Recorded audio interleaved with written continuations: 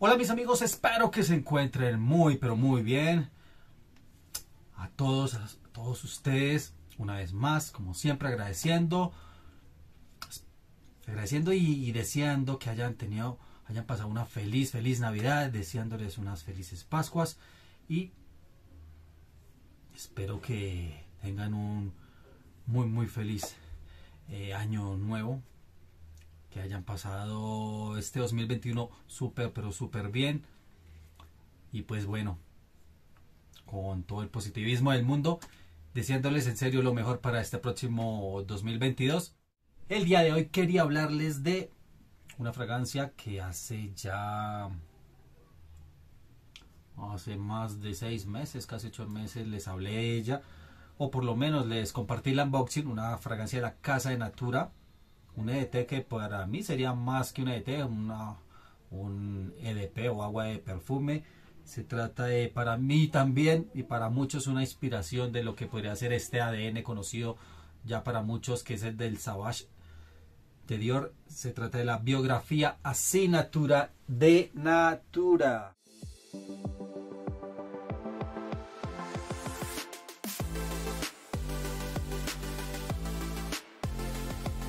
Como les dije al principio, hoy vamos a hablar de asignatura, biografía asignatura. Mm, algo que me he fijado de su botella, tiene un estilo bonito, pues muy parecido a las demás biografías, a la clásica y a, las, y a los demás flankers. La botella, mm, una, una tapa o el tapón enchapado como en metal, algún tipo de aluminio supongo, o algún tipo de metal en general. Por dentro resina plástica. Muy bonito el cuello. La caligrafía, el tema de, de visual, o sea, el tema de sus letras, la verdad son fueron tal vez estampados porque con el tiempo se ha ido borrando, sobre todo a medida que lo he usado. Un líquido algo marrón. Y como les dije también muy similar a lo que es la Savage, sobre todo en la salida y parte de su, de su secado, pero obviamente con, con, esa firma de Natura, sobre todo por esa parte resinosa, por parte de las resinas, ya que bueno, en sus notas van a encontrar lo que es, van a encontrar lo que es el incienso y el romero en su salida, en el corazón vamos a encontrar lo que son resinas, entre ellas también vamos a encontrar el breuranco, que es otro tipo de resinas, eh, es una resina extraída naturalmente o sale naturalmente sin tantos procesos eh, sí, químicos o, no, sea, sin tantos procesos como otros tipos de, resina, sale del árbol del blanco del Brasil. En el fondo vamos a encontrar lo que es el palo santo y el musgo de roble. Muy masculina por ese sentido, sobre todo el secado. Y hablando del secado, ya les voy a ir diciendo muy resinosa, con un dulce en particular que aún no lo descifro, no le descifro qué puede aportarle ese punto intenso de, dulce. No, es un dulce gourmand, no para nada, eh, pero sí es un dulce por algún tipo de fruto, pero que pues no lo declaran ni natura ni en fragantica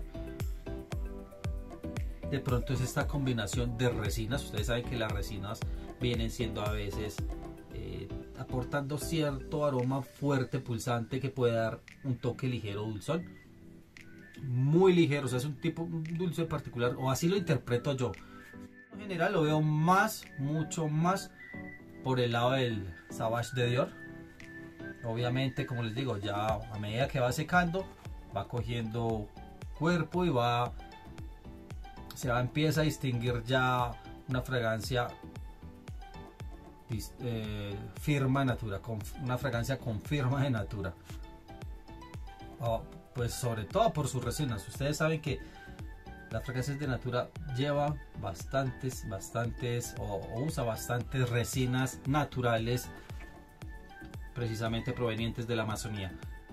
El musgo participa muy bien en el secado, ya ya ras de piel, ya muriendo la fragancia muy varonil en ese sentido me parece muy contrario a lo que es Savage, comparadora con Savage.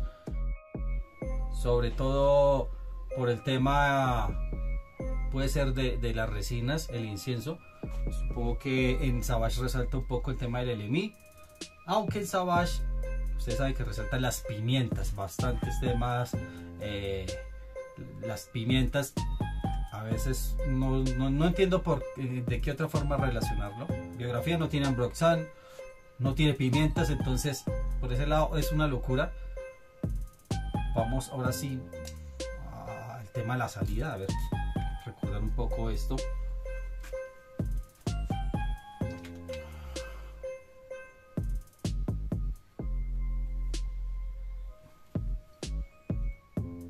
Romero no se lo percibo por ningún momento, en ningún momento. el tema del palo santo, pues no lo, no lo tengo muy presente tampoco, no, lo conozco, entonces difícil hablar de él. Pero se siente muy fresca. Parece la, salida definitivamente te, recuerda bastante lo que es Savage. Y vuelvo, insisto, poco a poco, a medida que va secando, pues ya se va alejando un poco de lo que es esto, ya creo que empieza a tener su, camino, su propio camino. Mm, de pronto sea por el tema de que no tiene pimientas, se va más por la parte resinosa y por la parte del musgo de roble. El romero, como les digo, no lo, no lo siento, o por lo menos no lo logro independizar. Eh, pero en sí es una fragancia deliciosa, deliciosa que las, las damas les puede gustar fácil. De pronto si hablamos de Savage, entonces es una fragancia que de pronto más fácil de, gustar. No es tan chocante como lo hace Savage. Entonces recuerda Savage, pero no choca como a veces Savage lo puede hacer por el tema de las pimientas. Hay personas que son muy sensibles a las pimientas. Al principio me pasaba con Savage, con fragancias como Luna Rosa Carbón de Prada. Nunca me pasó. No me pasa con esta y no me pasa con Evolución de Jambal. Más adelante hablaremos de ella. Hablando de, duración, es una fragancia que me dura bastante, bastante para hacer un eh, de toilette. Me parece que dura bastante, siendo un agua de tocador. Me dura entre las 7 8 horas a ras de piel, proyectando por lo menos unas 2 horas. Me parece buenísimo, buenísimo.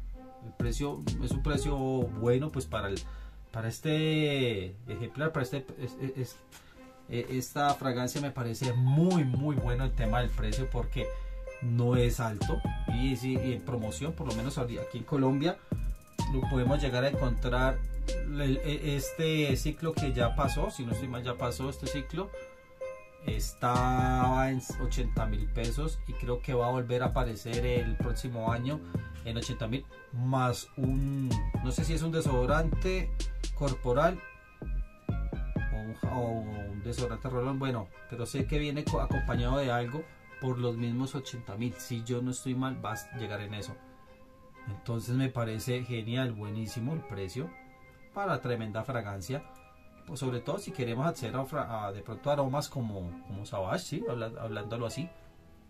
Esta sería una muy buena opción y viene siendo todavía más económico que lo que es Evolución. Así que más adelante Después de que hable de evolución, trataré de hacer una comparativa entre las dos para ver cuál sería la mejor opción eh, en este tipo de aromas. Una estela generosa, bastante generosa, más allá de mis brazos y se va recogiendo al pasar el tiempo, se va recogiendo, recogiéndose hasta hacerse una burbuja unipersonal, finalmente muriendo a ras de piel las últimas dos horas.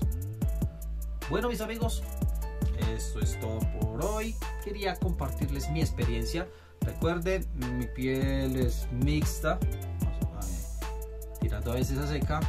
trato de hidratarla con cremas cuando consigo la desodorante corporal o algún tipo de champú, para el cuerpo. Trato de usarlos para qué? Para intensificar la fragancia, sino una, una crema hidratante corporal hidratante sin aroma. Bueno, lo importante es que sea sin aroma